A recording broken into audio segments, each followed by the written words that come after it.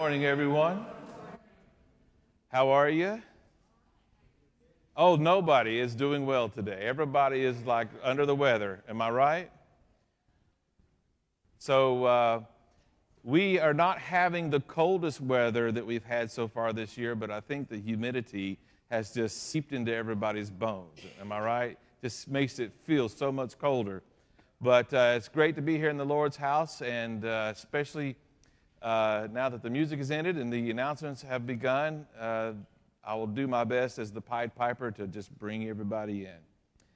First, let's begin. I think there's a birthday boy out in the uh, narthex somewhere. Maybe he can hear my voice. His name is Logan Byro. So maybe, yeah, come on in, Logan, so we can sing to you. And the other birthday person is Karen Queen. I know. So Karen outpaces me today. She will turn a year older than, no, not today, uh, the 7th. Okay. So do we have any other birthdays to celebrate today other than the ones that I have just mentioned? No? Okay. Any anniversaries that I have not remembered? Okay, good to know. All right, ladies and gentlemen, let's do uh, happy birthday to Karen and to Logan.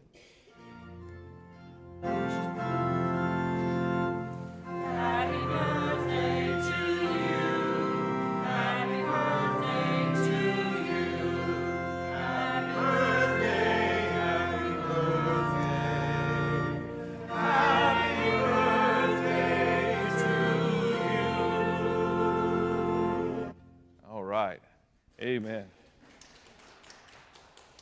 I'm going to uh, pause for just a moment and invite Reverend Ann to come over. She has a few guests she would like to recognize this morning. You've got to use this microphone or that one. Yeah, that one right there.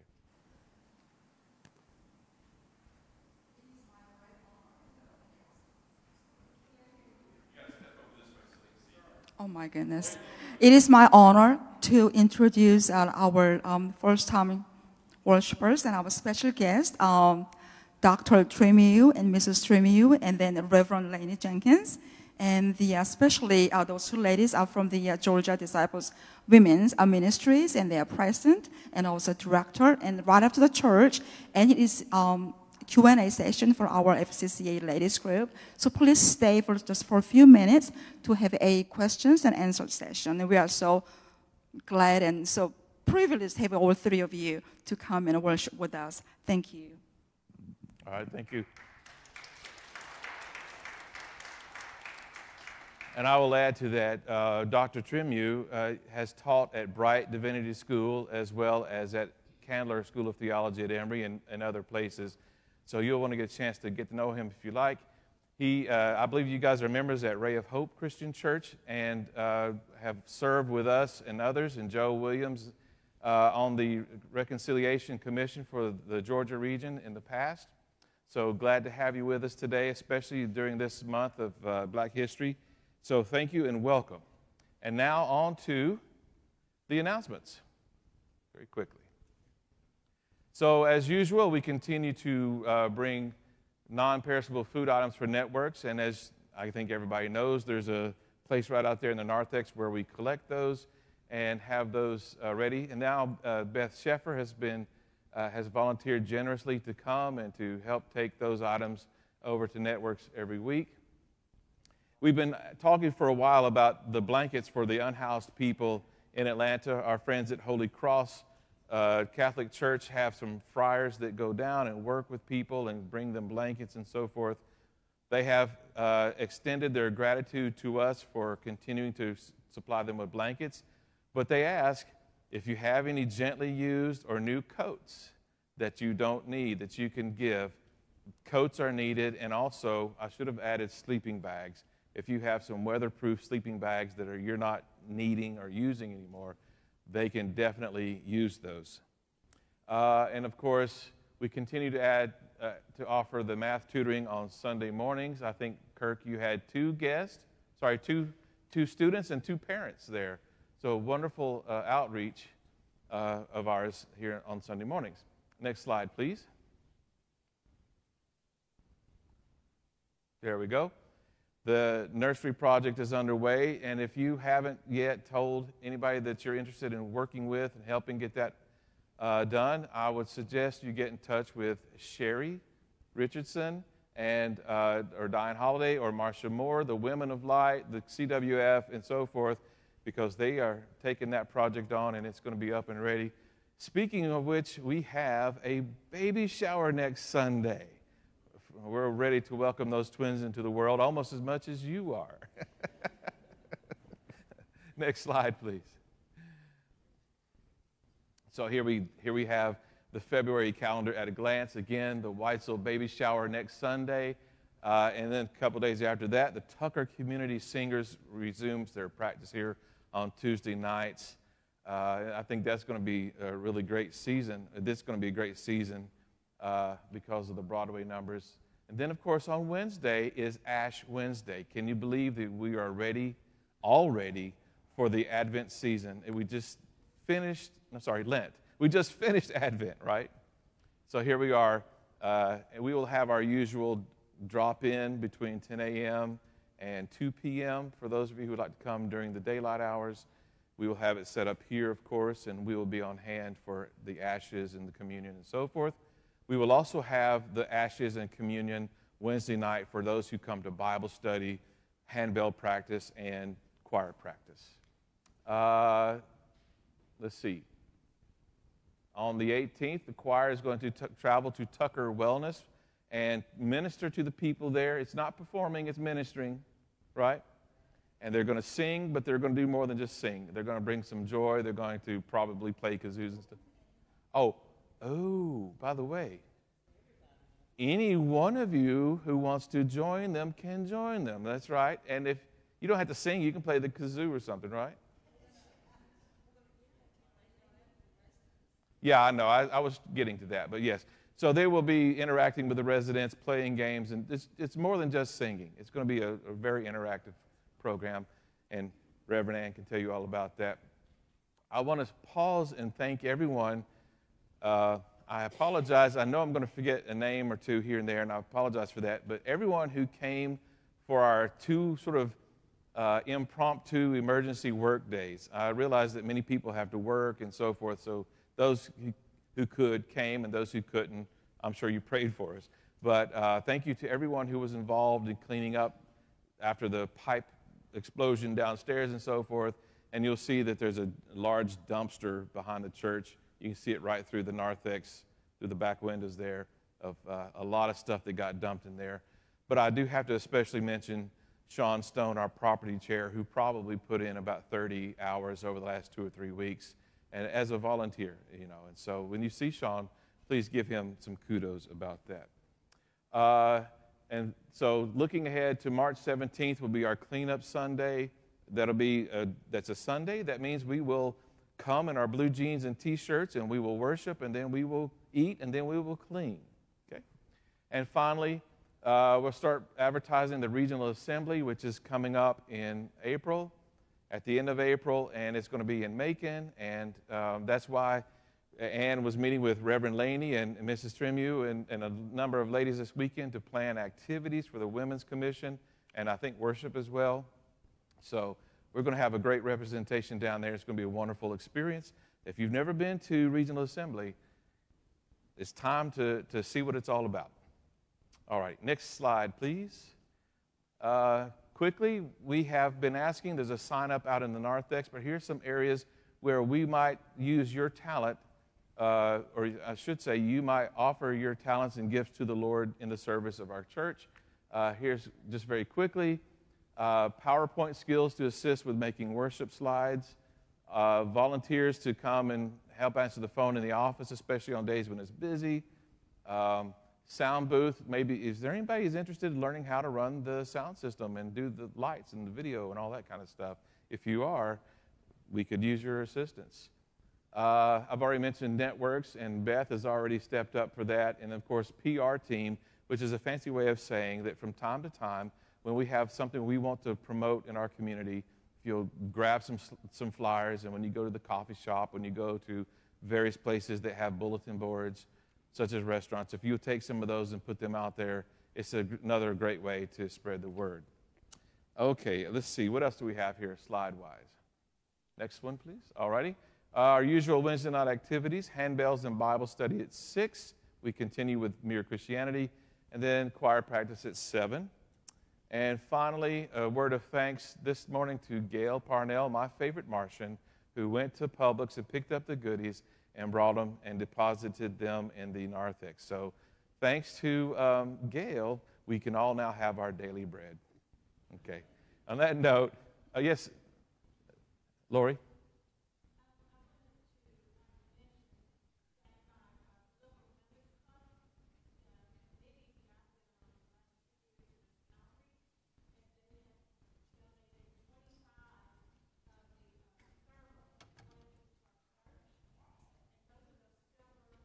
Yes. Super. Thank you so much. Amen to that.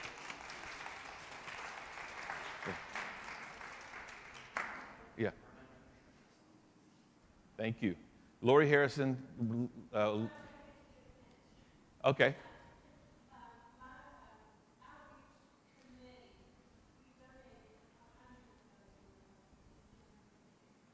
Wonderful. So Lori's, for the benefit of those who are online, they probably didn't hear that because there's not a microphone nearby. I'll just repeat it. So Lori Harrison, Lilburn Women's Club uh, in outreach, where she was the secretary for the last two years, or in charge of outreach, donated over 100 of the thermal emergency rescue blankets to the unhoused back in December, and now has a, a supply of 25 or so that we can pass on to the uh, friars who'll be working downtown. So wonderful.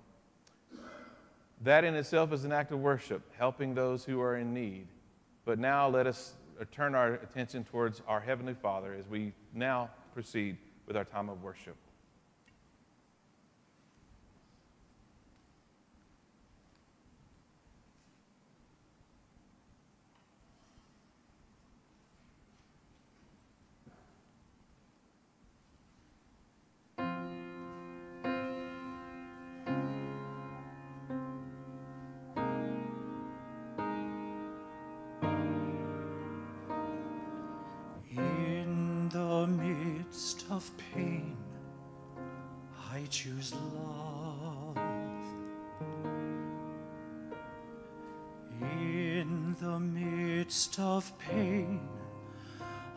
Choose love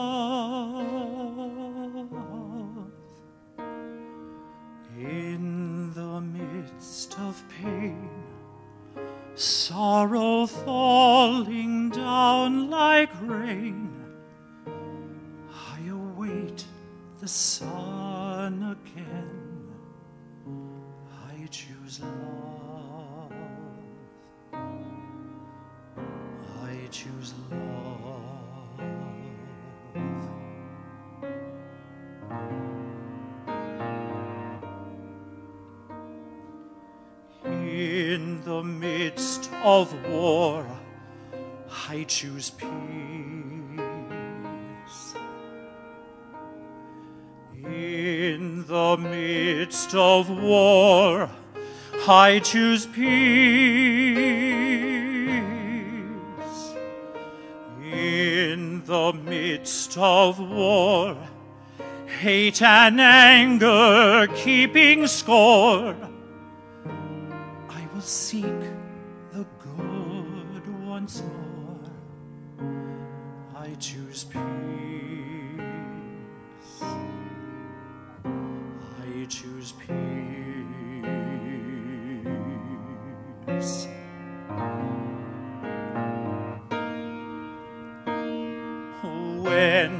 my world falls down I will rise. When my world falls down, I will rise.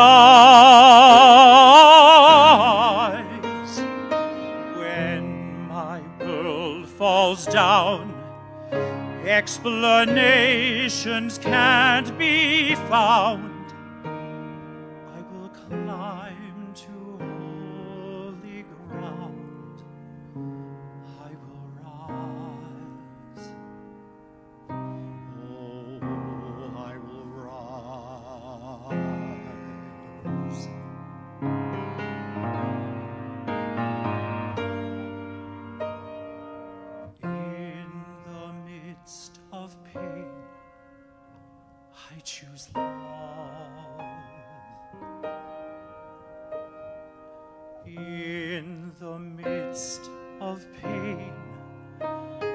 Choose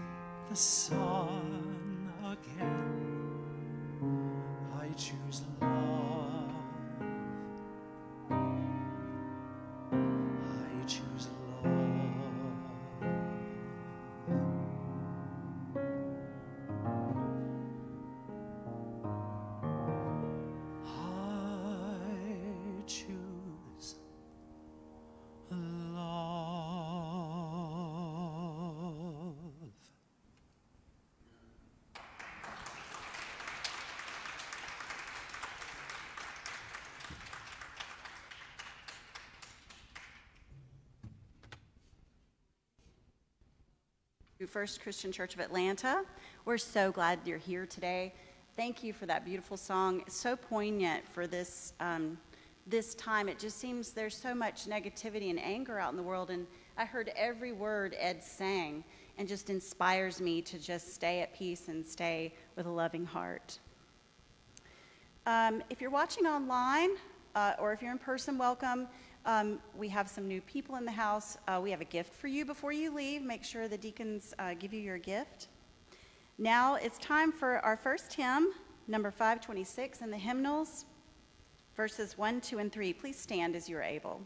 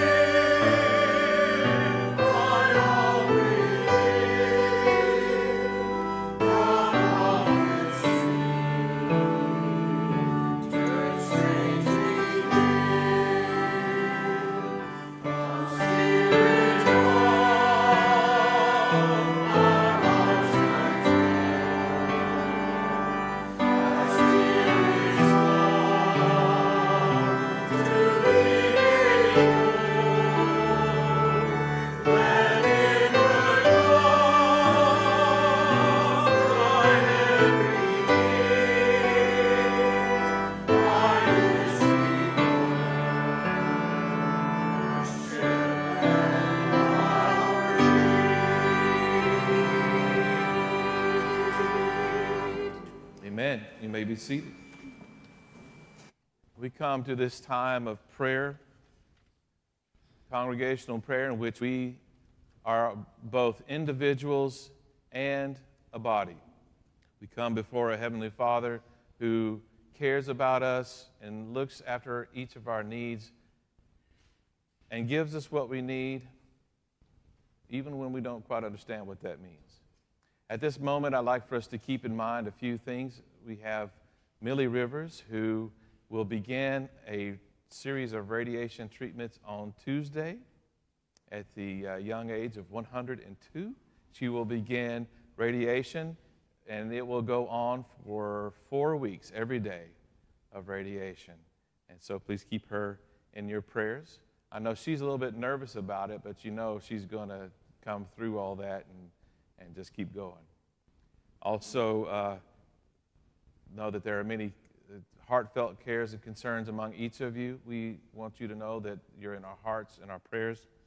But now let us go before the throne of God together and pray and trust. Good and gracious God, you never fail to forgive us, to wipe our slates clean.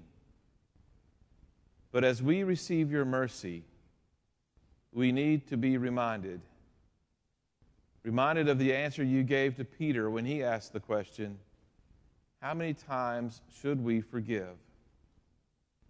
We hear your response 70 times 7. We confess this was not the answer we wanted to hear.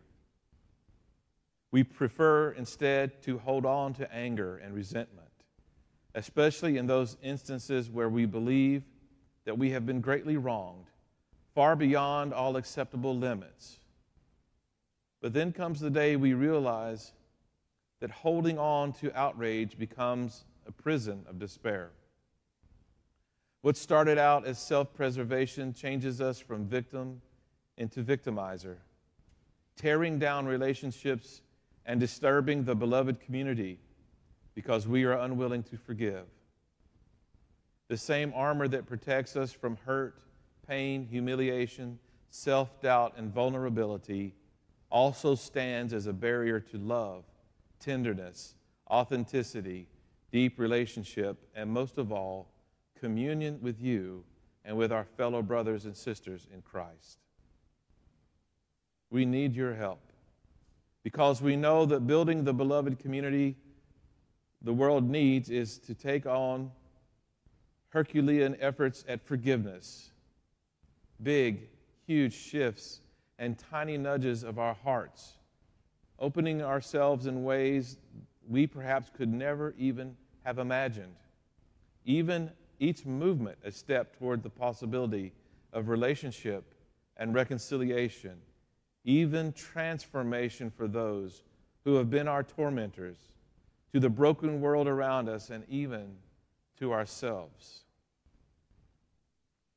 We confess, Lord, that sometimes we do not want to forgive. They don't deserve it, and we can't bear the pain. But here we are again, facing what we know to be true. It's brave and gritty and powerful and freeing to unclench our fist from the false security of resentment, to open our hearts to the possibility of love to be delighted with a heart miraculously turned from death to life because we had the courage to learn how to forgive. You are the one who, with your last breath, offered to forgive the unforgivable. Therefore, soften our hearts in a way that only divine mystery can invoke, and with a supply of forgiveness greater than we can imagine. Help us welcome into reconciliation those who have sought to destroy us, so that they may feel what we feel and experience what we have experienced love, forgiveness, and peace. And now, in this time of gathered worship, we appeal to you as many parts of the one body of Christ. Hear us as we pray from the silence of our hearts.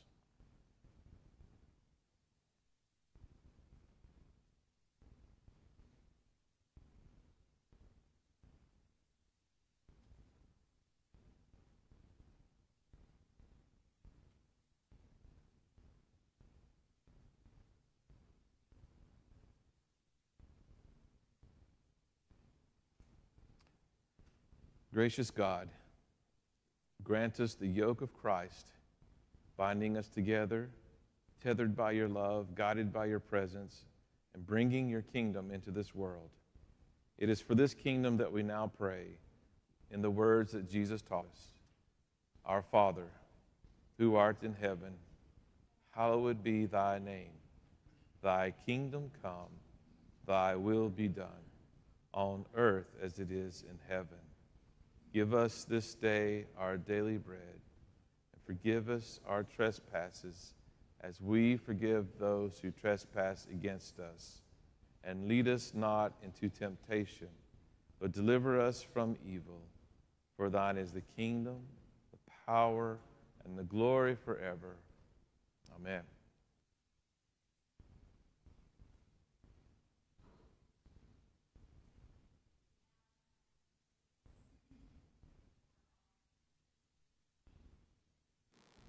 Please give as you are able to help this church and its ministry serve the community and our Lord. Will the deacons please come forward?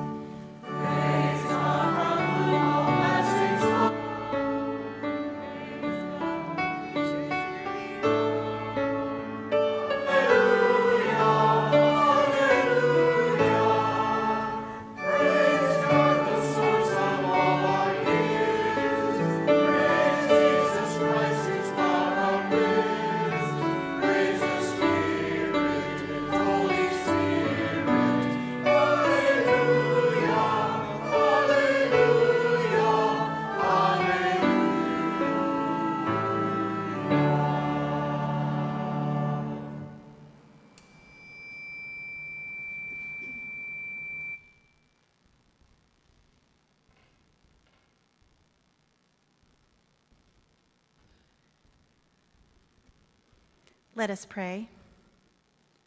Dear Heavenly Father, these gifts are offered in your name for your work as our hands and feet deliver the needs set forth. We pray for your guidance and blessing as we carry out our duties in this ministry. Amen. may be seated. You are worshiping with us for the first time today. We want you to know that you have an invitation to the table, the Lord's table, and it actually comes from Jesus himself. Our churches, uh, the ch- Christian churches, disciples of Christ, is founded upon the principle that this table belongs to Christ. This church belongs to Christ. And everything that we do is in his honor. Therefore, there is no screening process, there's no membership requirement. If you desire to partake of the Lord's Supper, we invite you to come and to partake. We have two ways of doing this. One, the elders in a moment will pray over the bread and the cup, and uh, they will proceed down here and they will distribute the elements to all who desire to come and to partake. And at this table here, we have what I like to call individual chalices, where you have uh, bread on one end and the, the, the uh, grape juice on the other. And if you prefer a little bit more social distancing, we completely understand and so we have this table here where uh, Jonathan and Richard are standing. At least four times in Matthew's gospel, we read that his disciples worshiped him, or others worshiped him. Just after he was born, Magi from the east came and they worshiped him. In the second and third instances, people worshiped Jesus uh, one of those was where Peter, remember, tried to walk on the water and he became afraid and began to sink, and Jesus rescued him and brought him into the boat, and it says the disciples worshiped him. And then at the empty tomb, when he appeared to the women who had come there, it says that they worshiped him, and finally, after his resurrection and before his ascension, Matthew tells us that they worshiped him. This is something that we continue in our lives, in our daily uh, lives, also in our worship. We uh, will uh, worship Christ by the partaking of the bread and of the cup. And I just realized we have a communion hymn which I have forgotten to announce. So after we sing the communion hymn, which is uh, We Come as Guests Invited, the elders will come and pray over the elements, and then we will serve. Please join me.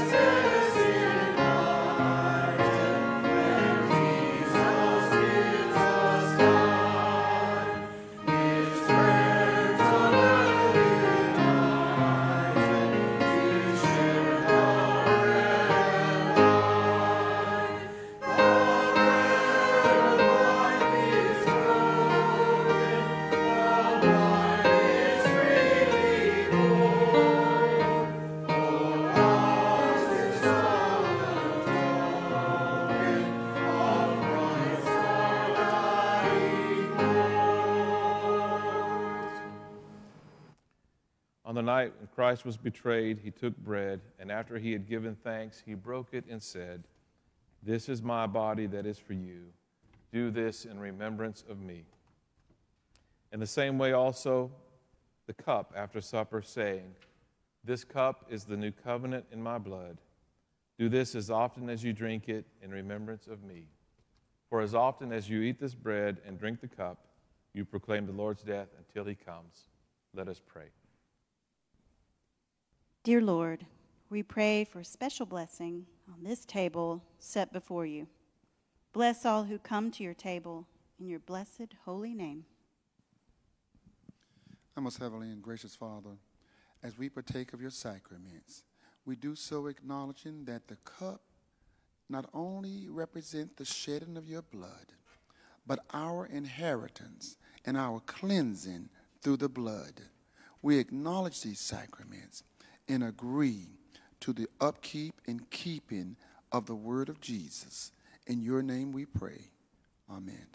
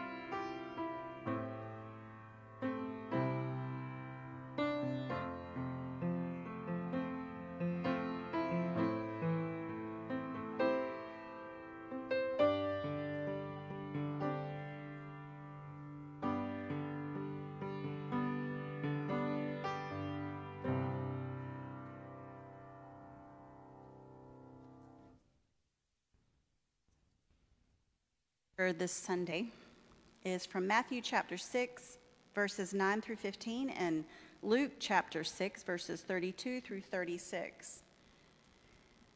Matthew chapter 6, verses 9 through 15 reads Pray then in this way Our Father in heaven, may your name be rev- revered as holy.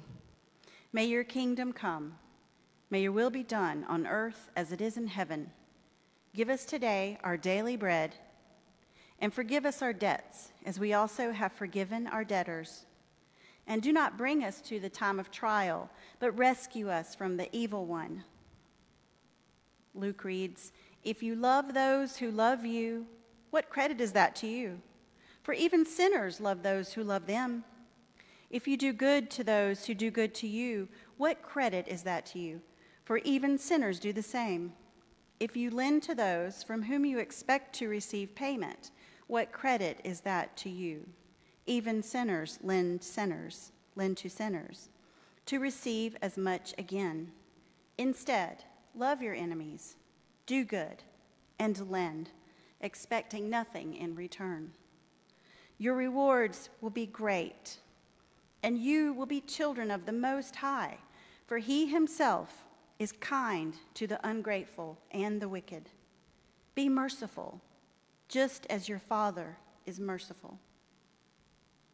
The Word of God for the people of God.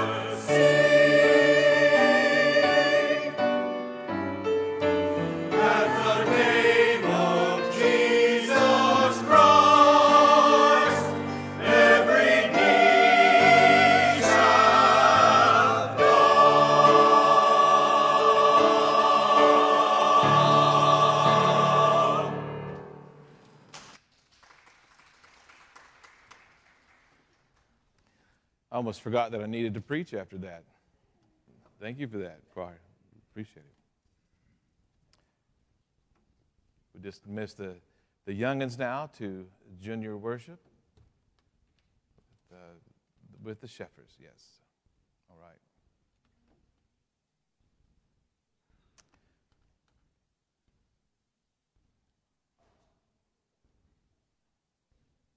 All right. Super.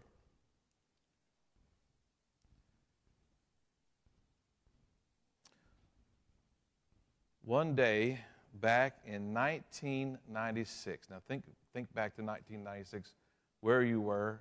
I was about 27 years old, roughly. So just a little less than half of my current age. 1996, I left my church office and walked home for lunch. In those days, uh, I was an associate minister at a church in Fairburn, and, and, and I lived in an apartment at 50 Clay Street in Fairburn. And we had a five year old son and another one on the way. Just helping Sam to relate to what's going on here. Ann had recently finished her uh, degree at Atlanta Christian College. It was basically a biblical studies degree with an emphasis in music. And we were living on my $23,000 a year salary, which even in 1996 was not much, right? I had only recently been able to convince the church that we needed health insurance. And needless to say, these were very lean times for us. So I walked home and sat down to my usual lunch of hot dogs covered in salsa. We ate lots of hot dogs in those days. They were 99 cents a pack. Right? And our conversation turned to Ann's job search. There just wasn't much happening in the Fairburn area that matched her skill set. And as you can imagine, she was quite frustrated. And for some dumb reason, I decided to say, well, perhaps I need to find a new job. Which, of course, didn't help her situation at all, but I said it. There we go. So eventually we finished lunch, and I walked back to the church, sat down at my office desk to begin working, and the phone rang. And on the other end of the line was a preacher from a church in Jonesboro. He said that their youth minister was leaving, and someone told him that I might be a good candidate for the job. Let's be honest, I did not want to be a youth minister. I didn't. But most of what I had been doing this, as an associate minister was youth work, right? Working with the kids, directing the programs. But I also got to preach every now and then. I got to go to the hospital and visit people from time to time. So it wasn't just, you know, the youth work, it was a little bit of a full range of things. And I kind of looked at that job as sort of like on the job training, you know, so that when I got to the, be a senior pastor, I would have had all that experience. But the idea of becoming a youth minister did not appeal to me but hadn't I just said an hour or so earlier, maybe I'm the one who needs to look for another job? And here's the phone ringing, and I'm thinking, I sent you two rowboats and a helicopter, if you remember that joke, right? So rather than say not interested, I said interested. A couple weeks later, I had the first interview, and I went to the church and met with the pastor. And, and remember this number 12 elders. The pastor and 12 elders. Just to give you an idea, we have six elders here at a time. That's our normal number. 12 elders and the pastor. And so I figured that if this wasn't God calling, I, it wasn't going to work out. So I just went there and, and answered the questions as honestly as I could. And then I left, and went on my way. One of the things I remember they said they liked about me was that I, in contrast to the person who was leaving, I was a family man. Therefore, I projected a little bit more of a, you know, maybe a mature image as opposed to the Wunderkind who, you know, did all the fun stuff. So perhaps I was what they needed. Interesting thing happened about a week or so later. There was the, if you remember, the Promise Keepers rallies, you know, and they had a couple of those in Atlanta, and the church in Fairburn had a group that was going, and I, for some reason, didn't make it to the bus in time, so I drove to the MARTA station there in College Park, and I went down to the platform to get on the train, and there was a delegation of elders and the preacher from the Jonesboro church. Coincidence? Who knows?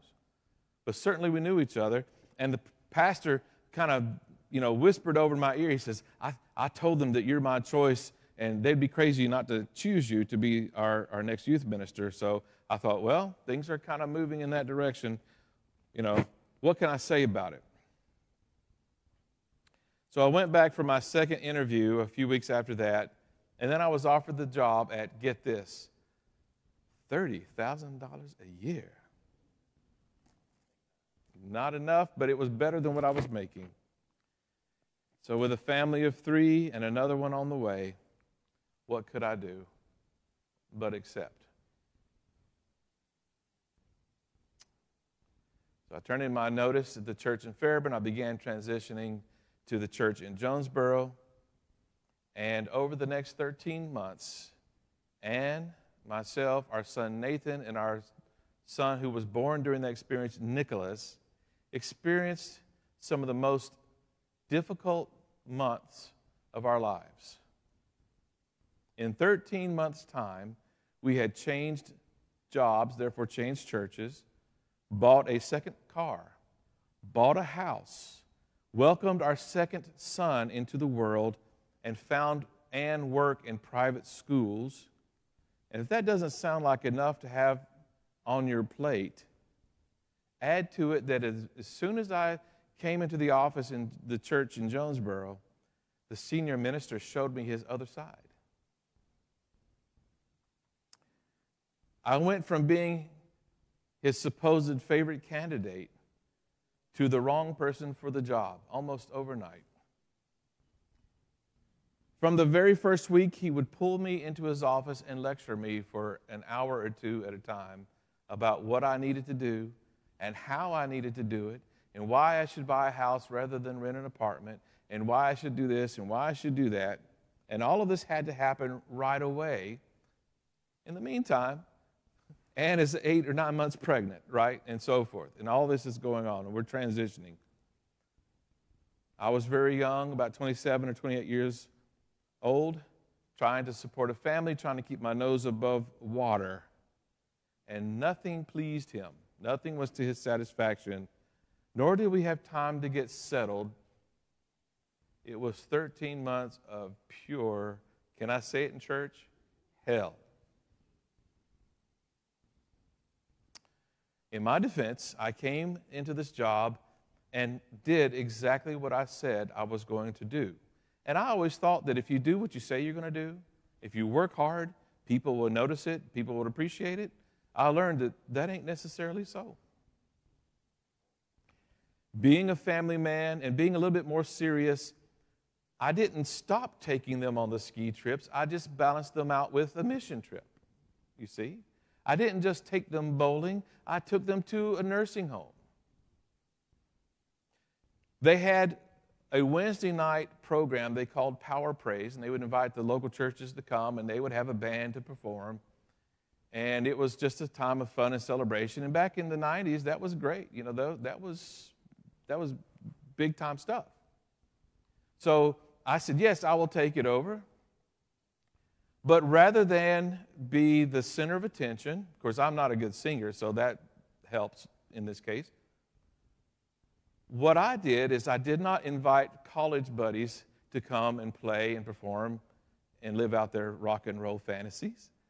I took members of the youth group, a guy who wanted to learn to play the guitar, a guy that played drums in marching band, some girls who actually knew how to sing, and a guy who wanted to learn to play the bass guitar. And for a time period, we met and we learned music, and I played the guitar, and I taught him how to play guitar. I taught him how to play bass. Good thing we had a good drummer and, good, and good singers.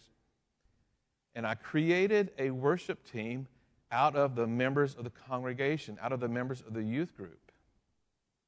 And then after they learned how to play and gain some confidence, guess what I did? I put my guitar away and I let them do it themselves. All high schoolers leading worship. And to me, that's what ministry is about. This is what I promised. I said that I would not be the focus of attention, but that I would mentor and nurture the youth, cultivate their gifts, teach them leadership, and involve them in service projects. This was the contrast that they said that they wanted in this congregation. There were some in the youth program that, and some of their parents that really appreciated that because all of a sudden now we had a level playing field and we had people involved and taking a leadership role. And then there were those who were not pleased because they had enjoyed a little bit of special attention. I'm talking about people who live on Lake Spivey, for instance, if you're familiar with that. They decided my approach might have been a little bit too lower middle class for their taste. I don't know. But the senior pastor latched onto this and decided that that was going to be the wedge that he would drive between me and the congregation. And he always was trying to brown nose and influ- I'm, I'm obviously just giving you my side of the story. He's not here to defend himself. But the program had gone in a different direction, and you don't give a person 13 months to succeed or fail. You give them 13 months to get settled, you see.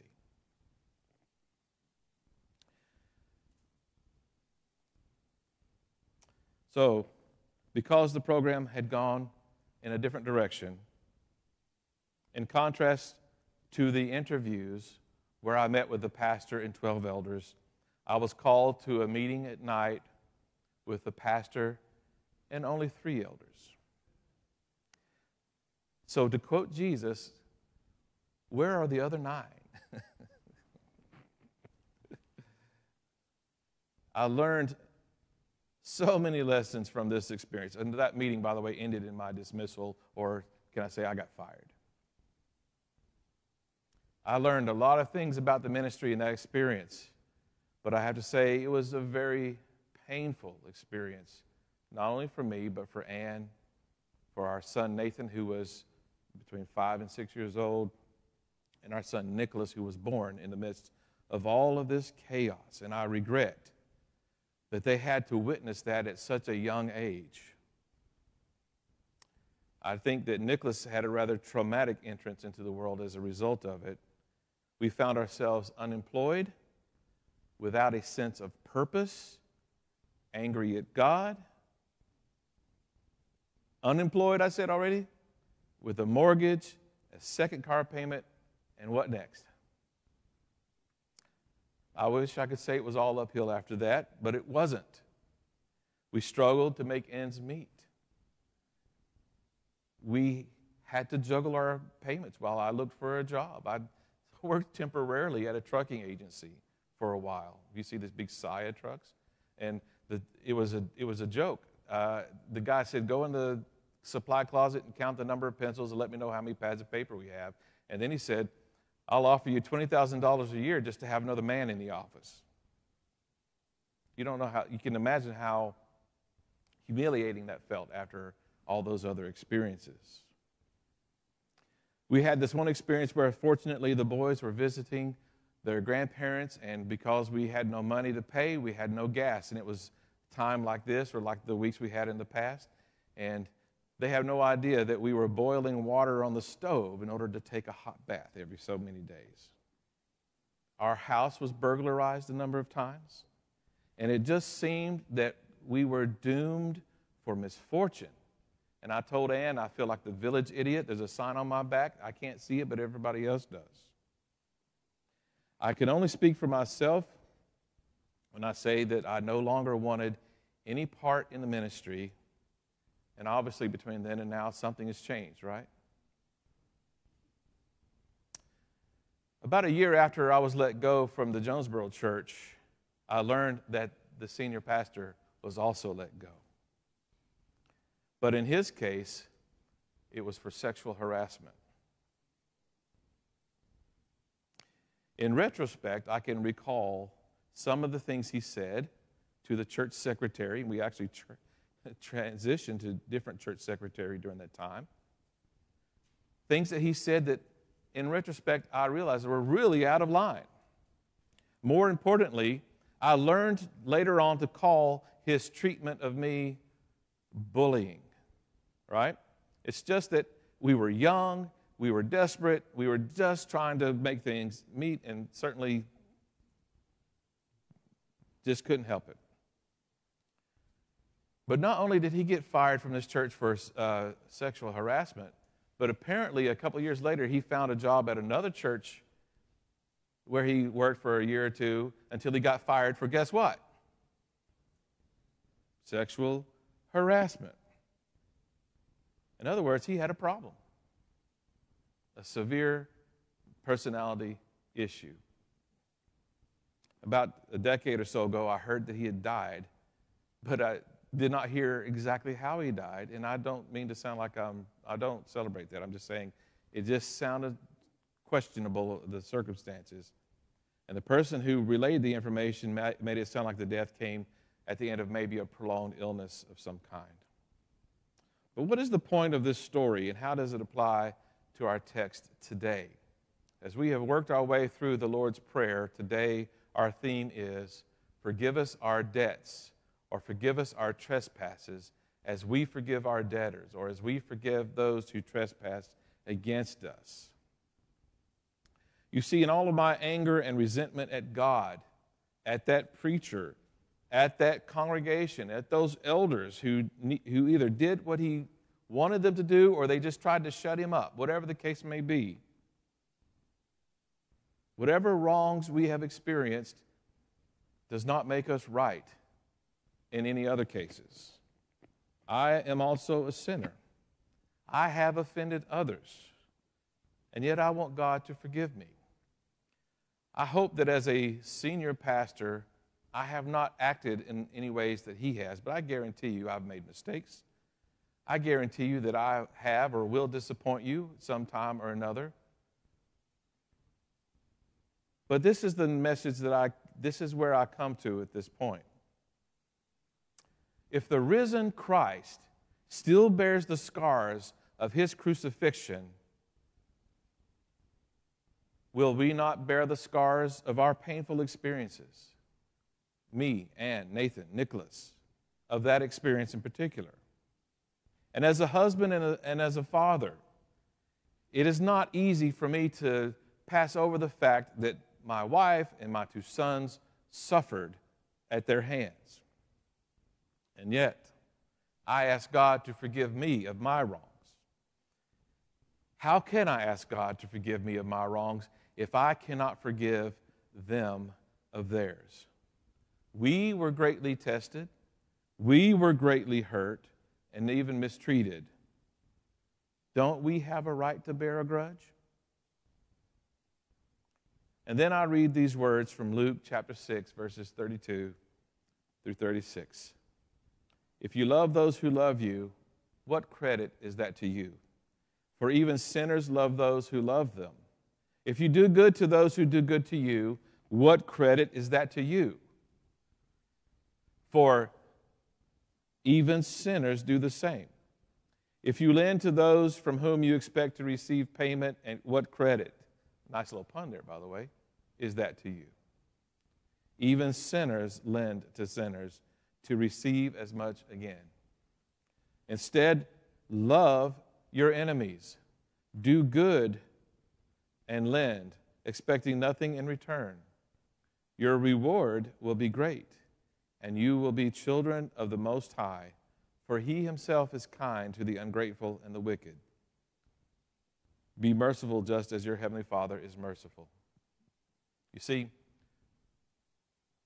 after leaving that church in 1997 and living in Jonesboro for another 19 years or so, is always a possibility that you have to run into somebody in the grocery store Kroger, Walmart, some other place that did you wrong. And it did happen. And I had to realize that in order to be a follower of Christ, I had to be loving at that moment. I had to be forgiving in that moment. And when this man died, do I want him to burn in hell? That's not Christian, right? that means I have to say, if he's in heaven and I want to go to heaven, I better forgive him.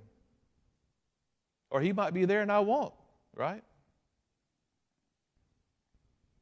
So when we pray, forgive us our debts as we forgive our debtors, we are not blind to the sources of our pain.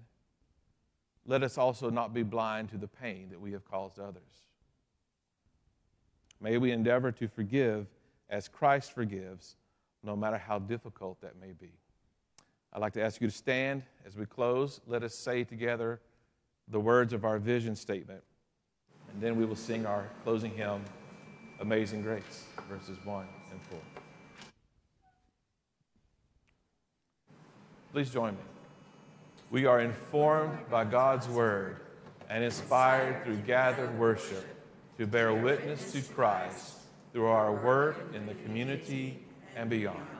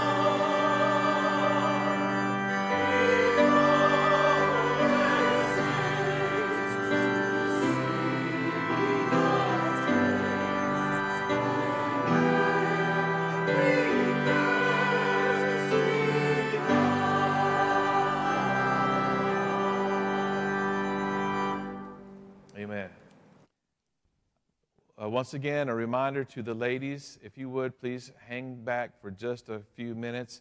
And uh, Reverend Laney Jenkins and Miss Trimu, I believe, are going to speak with you about the women's gathering, I do believe. And uh, just stay in here, I guess, and, and maybe gravitate to the center. But for, for all of us, a blessing from Psalm 32, verses 1 and 2. Happy are those whose transgression is forgiven, whose sin is covered. Happy are those whom the Lord imputes no iniquity and in whose spirit there is no deceit. In the name of the Father, Son, and Holy Spirit. Amen.